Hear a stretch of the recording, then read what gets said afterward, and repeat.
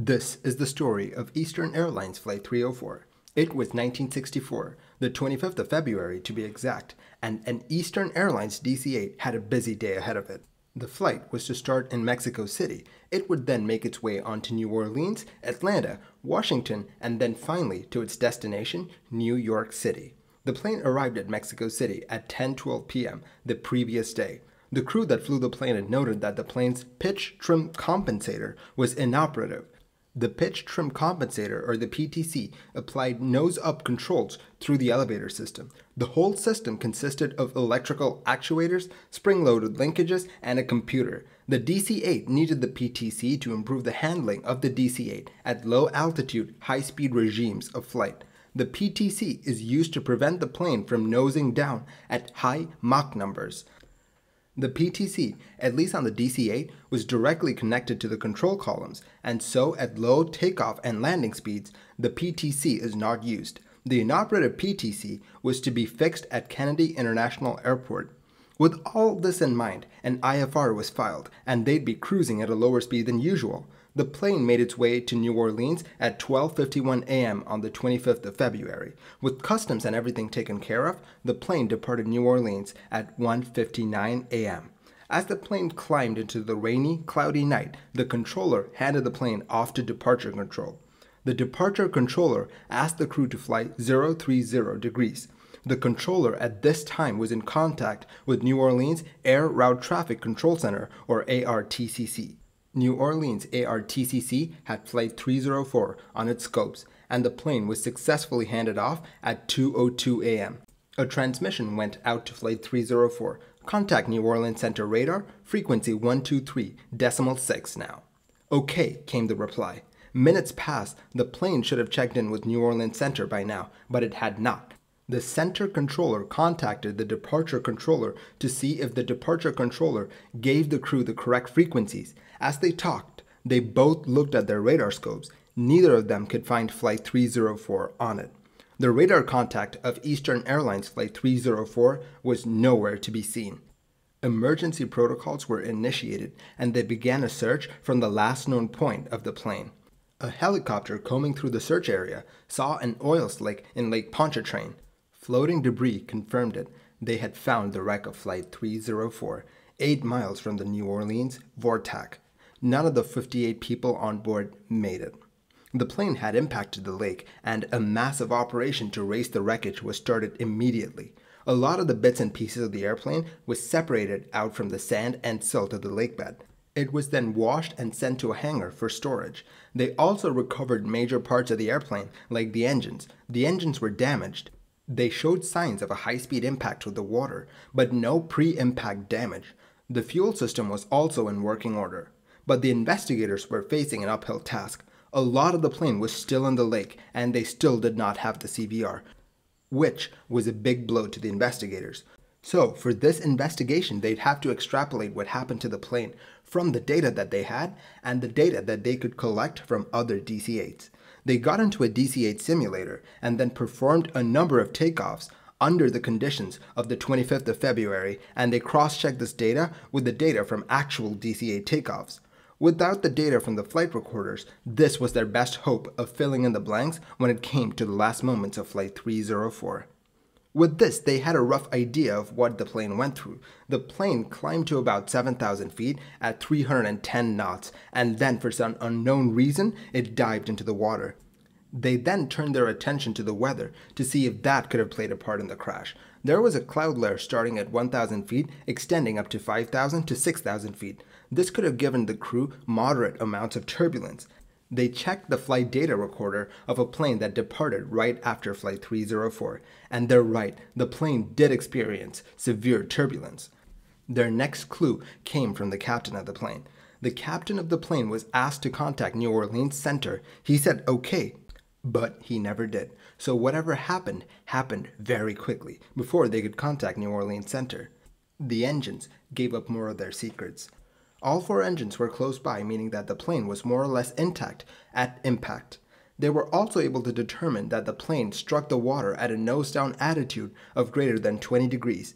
Then came the biggest surprise. The reverse thrusters on all four engines had been activated, Was this an accidental deployment of the thrust reverser? The first officer of Flight 304 gives them their answer. They found a testimony by the first officer of Flight 304 about a DC 8 that had experienced an upset and a subsequent dive.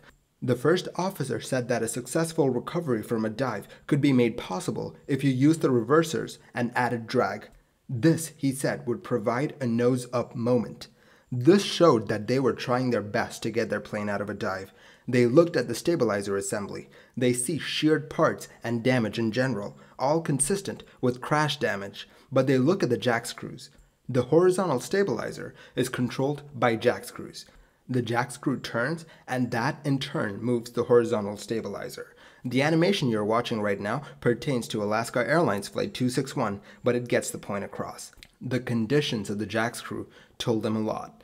Quote, the irreversible action stabilizer jack screws reflect that the stabilizer unit had been operating in an abnormal condition over a period of time, then failed when being operated in the ANU direction from the full or near A and D position. End quote. So basically, the stabilizer unit had issues when the pilot trimmed the plane to nose up from its maximum nose down trim. In the case of Flight 304, the horizontal drive unit was installed in 1963 by Eastern Airlines. The drive unit had a support bushing. This is a small bit of rubber or plastic that is intended to separate metal components and keep them where they're supposed to be. If you're a mechanical engineer and if you can provide a better explanation, please do drop it in the comments below. The support bushing was installed upside down, so after a while the bushing just fell away, and so the parts of the stabilizer drive moved around a bit. The stabilizer drive unit was operated in this compromised state for an extended period of time. The drive unit was fine at takeoff as the crew had to adjust the stabilizers prior to takeoff and they did their control checks. Had the drive failed then, the crew would have known about it. The investigators kept digging. They looked at another DC 8 in the Eastern Airlines fleet. On the 1st of April 1964, the crew of a training flight noted control issues with their DC 8 the issue was traced to a faulty PTC or pitch trim compensator. The PTC was installed such that even when it was retracted, the PTC actuator stuck out by about half an inch. This would usually show up in the cockpit, but since it had been configured incorrectly or misrigged, the cockpit instruments showed that the PTC was inactive when it wasn't. The interesting thing is how the crew reacted to this upset. They had to trim the nose down to counter the PTC. We don't know how much trim they had to use to counter the PTC, but it was so much that the warning lights in the cockpit were lit up. If you think back to the accident airplane, the airplane's PTC system had been having issues of its own. But no one actually checked to see if the PTC actuator was extended, thereby causing the plane to pitch up. It was hard to get to this actuator, you had to remove the first officer's seat and then some. The crew was told that the PTC was inoperative. But was the PTC actuator extended in the slightest? We just don't know. The PTC system was not recovered from the bottom of the lake. But there are symptoms that we can look for. The history of the accident airplane gives us clues. Pilots had complained that they had trouble with the autopilot on the accident plane. It kept disconnecting. If the autopilot had to use excessive force to keep the plane stable, it was designed to disconnect. This is a symptom of the PTC actuator being extended. The extended PTC actuator would have caused the plane to pitch up, and that had to be countered by the autopilot to keep the plane stable. They did tests with the plane with the PTC extended in various regimes of flight, and they found that if it were to be extended when it shouldn't be, the plane would be very unstable.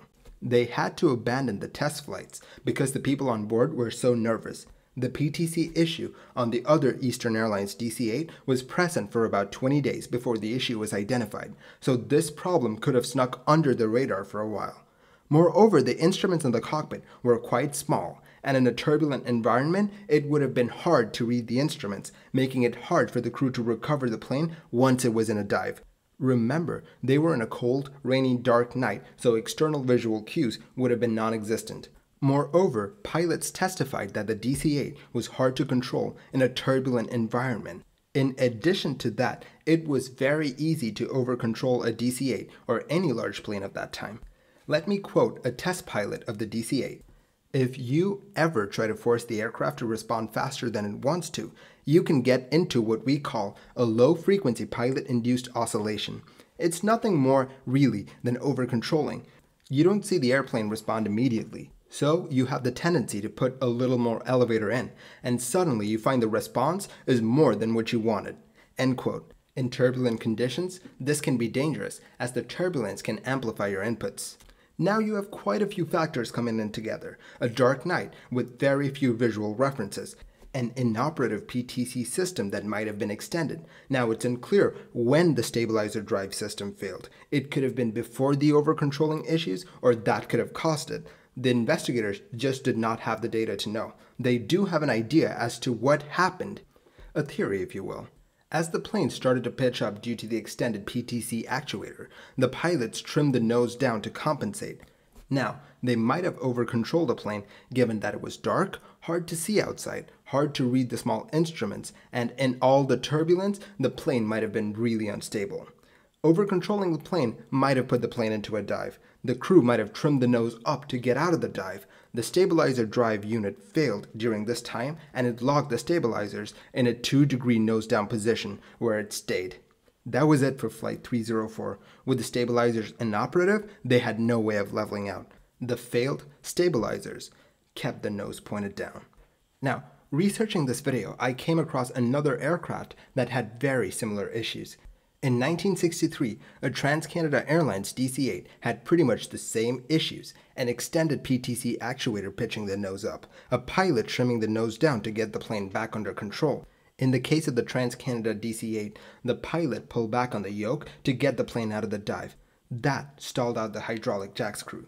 The only way to get control back was to ease the pressure on the yoke and to then pull up, but for them that was not an option as they were at 6,000 feet. This sounds very similar to me. The TransCanada Airlines DC-8 was trimmed down at 1.6 degrees nose down, and Flight 304 was trimmed down by 2 degrees. Borrowing a bit from the TransCanada Airlines report, it says, quote, it's unlikely that the flight crew were aware of the serious stability and control problems that we now know can result from the combination of an extended PTC and A&D trim even if they had been aware that the PTC had been extended, the aircraft would be in a condition where a slight displacement from its trim point would lead to divergent oscillations. In other words, a minor change of attitude, easily caused by the existing turbulence, would build up into large displacements. The inadequate control available to the pilot and the lack of an external horizon reference would likely result in the aircraft eventually assuming a dive attitude. End quote. This was a crash in 1963 and, at least in my opinion, describes Flight 304 perfectly. Since a lot of Flight 304 is still at the bottom of the lake, we do not know exactly what happened. The PTC actuator is still down there. The final report calls out the turbulence, the possibility of the extended PTC, the failed stabilizers, the small instruments, and the general instability of the DC-8 in this configuration as causes for this crash. They put the probable cause down as, quote, the degradation of aircraft stability characteristics and turbulence because of abnormal longitudinal trim component positions. End quote. I guess they did not have enough data to unequivocally say, hey, all these factors caused the crash. But in all likeliness, this is what happened to Flight 304. Thank you for watching this episode of Mini Air Crash Investigation. If you like the videos that I make, do consider liking and subscribing. It will really help the channel grow. A big thank you to Ryan Bomar for letting me use his amazing footage on my video. I'll catch you guys next time. Stay safe.